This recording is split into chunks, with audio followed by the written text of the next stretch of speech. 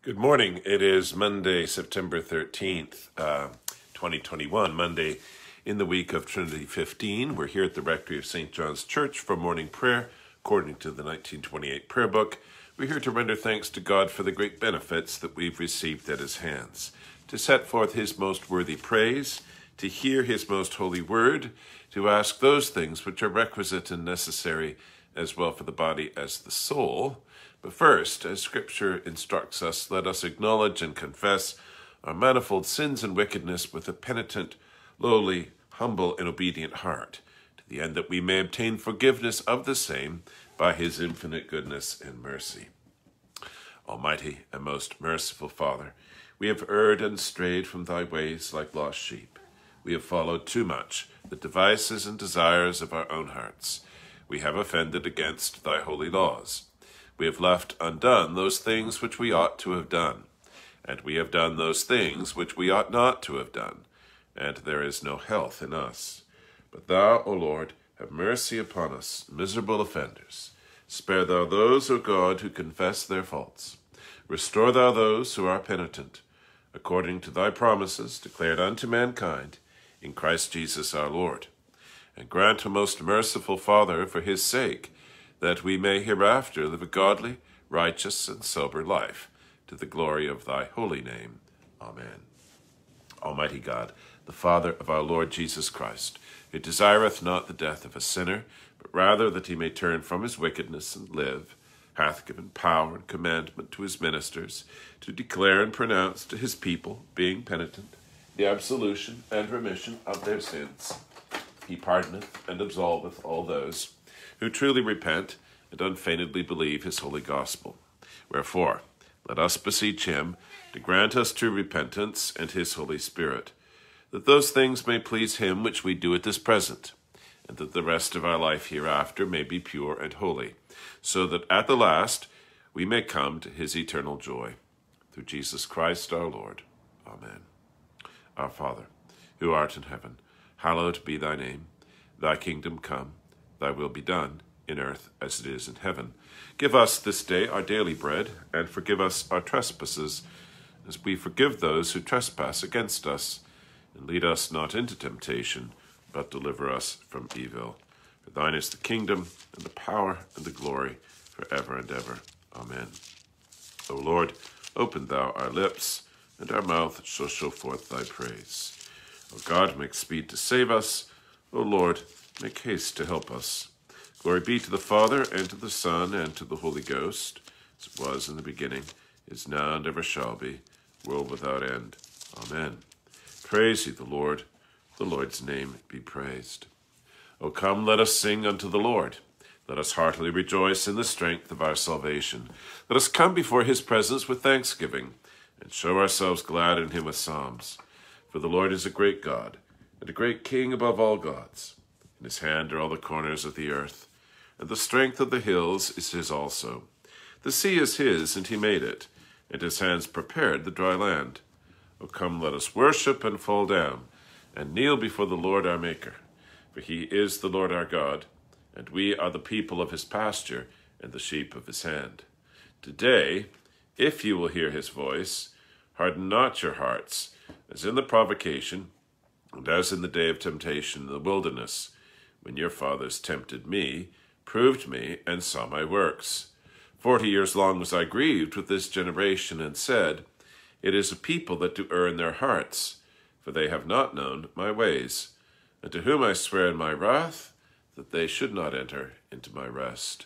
Glory be to the Father, and to the Son, and to the Holy Ghost, as it was in the beginning, is now, and ever shall be, world without end. Amen. Well, you've seen a little evidence of Jude's activity this morning, uh, rocking screens and so on. Here's here's his idea of of being uh, helpful right now is to uh, sit on the books I'm trying to use.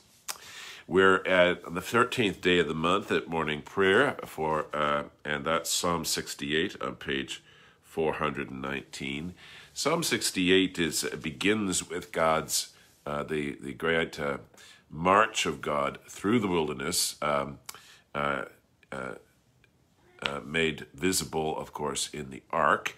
and uh, this triumphant progress through the wilderness and its conclusion uh, in the ascent to Mount Zion uh, in Jerusalem.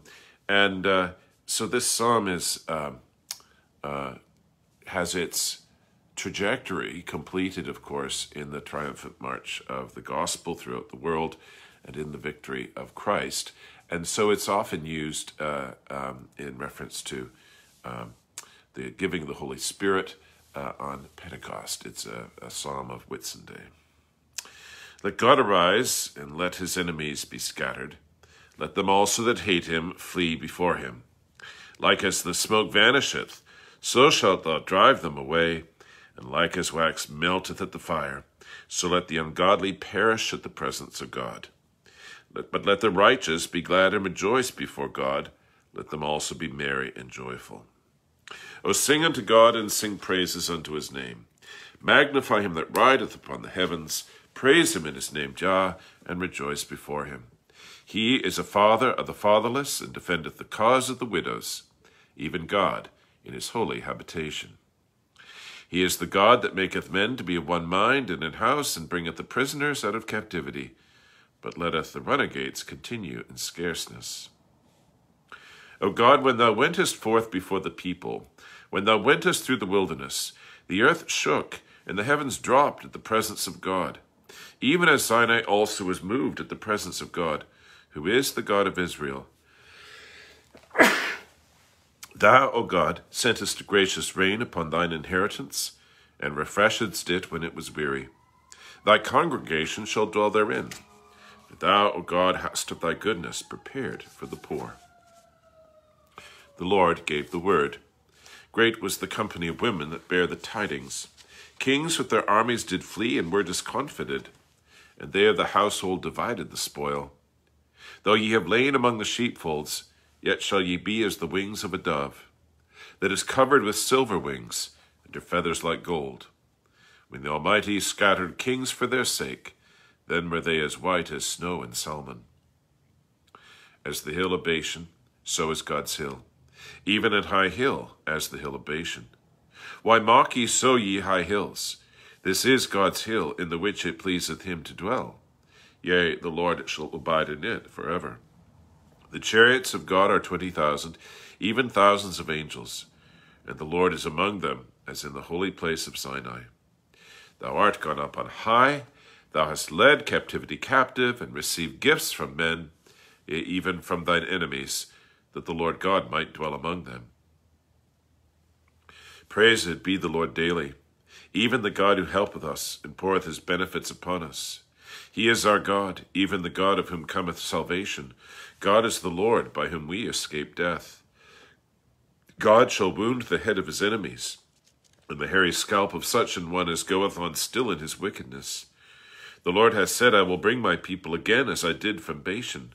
Mine own will I bring again as I did some time from the deep of the sea, that thy foot may be dipped in the blood of thine enemies, and that the tongue of thy dogs may be red through the same. It is well seen, O God, how thou goest, how thou, my God and King, goest in the sanctuary. The singers go before, the minstrels follow after, in the midst of the damsels playing with the timbrels. Give thanks unto the God the Lord in the congregation, ye that are of the congregation of Israel.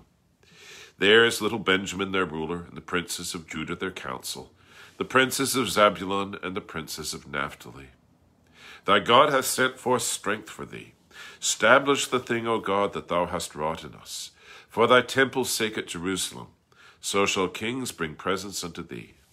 Rebuke thou the dragon and the bull with the leaders of the heathen, so that they humbly bring pieces of silver. Scatter thou the peoples that delight in war. Then shall the princes come out of Egypt. The Morian's land shall soon stretch out her hands unto God. Sing unto God, O ye kingdoms of the earth. O sing praises unto the Lord who sitteth in the heavens over all from the beginning. Lo, he doth send out his voice, yea, and that a mighty voice. Ascribe ye the power to God of Israel. His worship and strength is in the clouds. O God, wonderful art thou in thy holy places. Even the God of Israel, he will give strength and power unto his people. Blessed be God. Glory be to the Father, and to the Son, and to the Holy Ghost as it was in the beginning, is now, and ever shall be, world without end. Amen. So I'm about to disrupt things because, of course, Jude is sitting on my copy of the Bible. So let's see what happens. okay, Jude, excuse me. There we go. Oh, oh very well mannered. No protests at all. Here beginneth the first, uh, the book of Esther. Uh, Esther is uh, one of the books that testifies to uh, the time of Israel's um, exile and its uh, uh, submission to Gentile kingdoms, uh, first Babylon, and then, in the case of Esther, of Persia. and um, the opening chapter sets the scene. Um, we will hear about a the queen, Vashti, a woman of dignity and decorum, who will not uh, make a spectacle of herself. Uh, we also see uh, the cost um, that that um, uh, involves um, with a, um, a tyrant of um, poor judgment, such as her husband, the king. And that's that's going to give us important background for uh, the emergence of Esther and uh, her challenge and dilemma. Now it came to pass in the days of Ahasuerus, this is Ahasuerus which reigned from India even unto Ethiopia, over an hundred and seven and twenty provinces, that in those days, when the king Ahasuerus sat on the throne of his kingdom, which was in Shushan, the palace, in the third year of his reign he made a feast unto all the princes and his servants the power of Persia and Media, the nobles and princes of the provinces being before him. When he showed the riches of his glorious kingdom and the honor of his excellent majesty many days, even an hundred and fourscore days. And when these days were expired, the king made a feast unto all the people that were present in Shushan the palace, both unto great and small, seven days, in the court of the garden of the king's palace where were white, green, and blue hangings, fastened with cords of fine linen and purple, to silver rings and pillars of marble. The beds were of gold and silver, upon a pavement of red and blue and white and black marble. And they gave them drink in vessels of gold, the vessels being divers one from another, and royal wine in abundance, according to the state of the king. And the drinking was according to the law, none did compel for so the king had appointed to all the officers of the house, that they should do according to every man's pleasure. Also, Vashti the queen made a feast for the women in the royal house which belonged to King Ahasuerus. On the seventh day, when the heart of the king was merry with wine, he commanded Mehuman, Biztha, Harbona, Bigtha, and Abagtha, Zethar, and Carcas, the seven chamberlains that served in the presence of King Ahasuerus the king, to bring Vashti the queen before the king with the crown royal, to show the people and the princes her beauty, for she was fair to look on. But the queen Vashti refused to come to the king's commandment by his chamberlains. Therefore was the king very wroth, and his anger burned in him. Then the king said unto the men, and to the wise men which knew the times, for so was the king's manner toward all that knew law and judgment. And the next unto him was Carshena, Shethar, Adma, uh, Admatha, Tarshish, Meres, Marsena, and Memucan, the seven princes of Persia and Media, which saw the king's face, and which sat the first in the kingdom. What shall we do unto the queen Vashti according to law, because she hath not performed the commandment of the king Ahasuerus by the chamberlains? There's a kind of petulance here, of course, a kind of childish petulance, uh, which uh, is uh, going to be indulged foolishly by his counselors.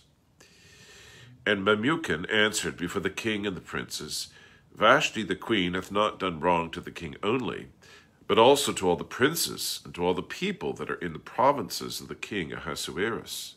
For this deed of the queen shall come abroad unto all women, so that they shall despise their husbands in their eyes when it shall be reported.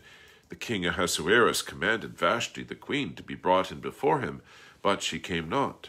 Likewise shall the ladies of Persia and Media say this day unto all the king's princes, which have heard of the deed of the queen, Thus shall there arise too much contempt and wrath.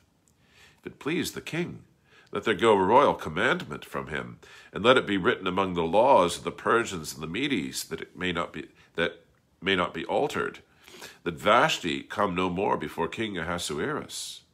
And let the king give her royal estate unto another that is better than she. And when the king's decree which he shall make shall be published throughout all this empire, for it is great, all the wives shall give to their husbands honor, both to great and small. And the saying pleased the king and the princes, and the king did according to the word of Memucan. For he sent letters unto all the king's provinces, and to every province according to the writing thereof, and every people after their language, that every man should bear rule in his own house, and that it should be published according to the language of every people. Here endeth the first lesson. So there's uh, an element of satire here at the expense of this uh, foolish, petulant, uh, self indulgent, and fundamentally very weak uh, tyrant. And uh, um, that uh, the element of satire doesn't take away from the seriousness of this um, book, but it is a, um, a refreshing kind of takedown of self important Uh, secular earthly authority. Blessed art thou, O Lord God of our fathers, praised and exalted above all forever. Blessed art thou for the name of thy majesty, praised and exalted above all forever. Blessed art thou in the temple of thy holiness, praised and exalted above all forever. Blessed art thou that beholdest the depths and dwellest between the cherubim, praised and exalted above all forever. Blessed art thou in the glorious throne of thy kingdom, praised and exalted above all forever. Blessed art thou in the firmament of heaven, praised and exalted above all forever. Let us bless the Father, and the Son, and the Holy Ghost. Praise him and magnify him forever. Amen. Now, excuse me a moment. A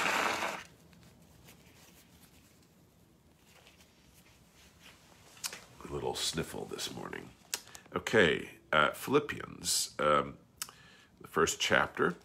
Uh, a, a short uh, book, um, one that overflows with uh, Paul's affection for the Christians of Philippi, and uh, remarkable also for its teaching, as we shall see.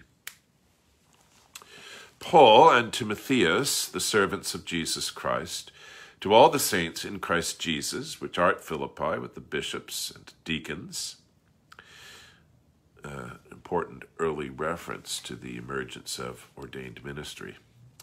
Grace be unto you and peace from God our Father and from the Lord Jesus Christ. I thank my God upon every remembrance of you, always in every prayer of mine for you all, making request with joy, for your fellowship in the gospel from the first day until now, being confident of this very thing, that he which hath begun a good work in you will perform it until the day of Jesus Christ. Even as it is meet for me to think this of you all, because I have you in my heart, inasmuch as both in my bonds and in the defense and confirmation of the gospel, ye all are partakers of my grace. For God is my record, how greatly I long after you all in the bowels of Jesus Christ. And this I pray, that your love may abound yet more and more in knowledge and in all judgment, that ye may approve things that are excellent, that ye may be sincere and without offense to the day of Christ, being filled with the fruits of righteousness, which are by Jesus Christ, unto the glory and praise of God. Here endeth the uh, second lesson. What wonderful words, uh, and, and one could hope that they would be said of us. Blessed be the Lord God of Israel, for he hath visited and redeemed his people, and hath raised up a mighty salvation for us in the house of his servant David, as he spake by the mouth of his holy prophet, prophets which have been since the world began, that we should be saved from our enemies and from the hand of all that hate us, to perform the mercy promised to our forefathers, and to remember his holy covenant to perform the oath which he sware to our forefather Abraham that he would give us, that we being delivered out of the hand of our enemies might serve him without fear, in holiness and righteousness before him all the days of our life. And thou, child, shalt be called the prophet of the highest, for thou shalt go before the face of the Lord to prepare his ways, to give knowledge of salvation unto his people, for the remission of their sins, through the tender mercy of our God, whereby the day spring from on high hath visited us, to give light to them that sit in darkness and in the shadow of death, and to guide our feet into the way of peace. Glory be to the Father, and to the Son, and to the Holy Ghost, as it was in the beginning, is now, and ever shall be, world without end. Amen. I believe in God, the Father Almighty, maker of heaven and earth, and in Jesus Christ, his only Son, our Lord, who was conceived by the Holy Ghost, born of the Virgin Mary, suffered under Pontius Pilate, was crucified, dead, and buried. He descended into hell. The third day he rose again from the dead. He ascended into heaven, and sitteth on the right hand of God the Father Almighty. From thence he shall come to judge the quick and the dead. I believe in the Holy Ghost, the Holy Catholic Church, the communion of saints, the forgiveness of sins, the resurrection of the body, and the life everlasting. Amen. The Lord be with you, and with thy spirit. Let us pray. United in the confession of one faith, one Lord, one God and Father of all, let us commend ourselves and one another, and the whole church and people of God, to his gracious and loving care. I bid your prayers for all sorts and conditions of men, that God's ways might be known unto them, his saving health among all nations. I bid your prayers for Christ's holy Catholic Church upon earth, that it may be united in the truth of the gospel and in brotherly love, and active in its mission and ministry in all places.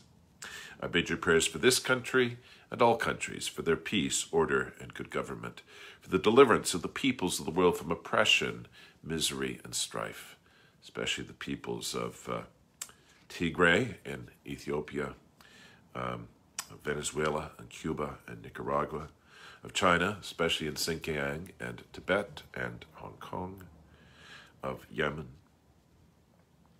and Afghanistan. I bid your prayers for the clergy and people of God's churches throughout the world and the faithfulness of their witness and worship.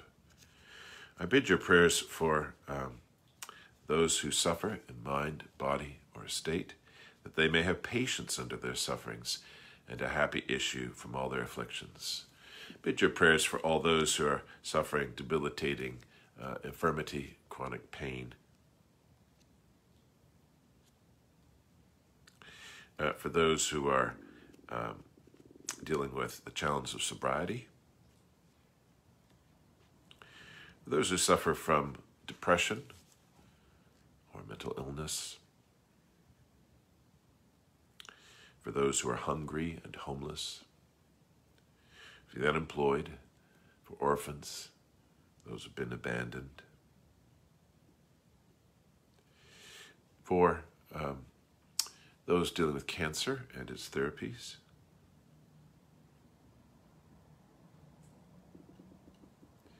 For those who are undergoing surgery, are recovering from it.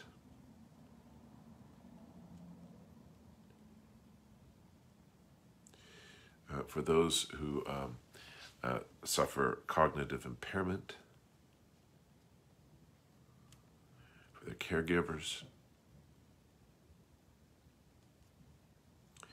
uh, for those um, who are dying, and we for those who are grieving. We remember before God those who've departed this life in the faith of Christ and are at rest in Him, that we with them may rise to glory. Lord, have mercy upon us. Christ, have mercy upon us. Lord, have mercy upon us. Our Father, who art in heaven, hallowed be thy name. Thy kingdom come, thy will be done, in earth as it is in heaven. Give us this day our daily bread, and forgive us our trespasses, as we forgive those who trespass against us. And lead us not into temptation, but deliver us from evil. Amen. O Lord, show thy mercy upon us, and grant us thy salvation. O Lord, save the state, and mercifully hear us when we call upon thee. Endue thy ministers with righteousness, and make thy chosen people joyful. O Lord, save thy people, and bless thine inheritance. Give peace in our time, O Lord, for it is thou, Lord, only, that makest us dwell in safety. O God, may clean our hearts within us, and take not thy Holy Spirit from us. Keep, we beseech thee, O Lord, thy church with thy perpetual mercy. And because the frailty of man without thee cannot but fall, keep us ever by thy help from all things hurtful, and lead us to all things profitable to our salvation. Through Jesus Christ, thy Son, our Lord, who liveth and reigneth with thee in the Holy Ghost ever, one God, world without end. Amen. O God, who art the author of peace and lover of concord, in knowledge of whom standeth our eternal life, whose service is perfect freedom, defend us, thy humble servants, in all assaults of our enemies, that we, surely trusting in thy defense, may not fear the power of any adversaries, through the might of Jesus Christ our Lord. Amen. O Lord, our heavenly Father, almighty and everlasting God, who has safely brought us to the beginning of this day, defend us in the same with thy mighty power, and grant that this day we fall into no sin, neither run into any kind of danger, but that all our doings, being ordered by thy governance, may be righteous in thy sight. Through Jesus Christ our Lord. Amen. From today's epistle reading as this word of thankfulness and prayerful hope, which we can make our own. I thank my God upon every remembrance of you, always in every prayer of mine for you all, making request with joy for your fellowship in the gospel from the first day until now, being confident of this very thing, that he which hath begun a good work in you will perform it until the day of Jesus Christ. And this I pray, that your love may abound yet more and more in knowledge and in all judgment, that ye may approve things that are excellent, that ye may be sincere and without offense to the day of Christ, being filled with the fruits of righteousness which are by Jesus Christ, unto the glory and praise of God. The grace of our Lord Jesus Christ, and the love of God, and the fellowship of the Holy Ghost be with us all evermore. Amen. The good Lord order this day and your doings in his peace. Amen. And now, a final view of himself, who is now decided to take up residence in another place.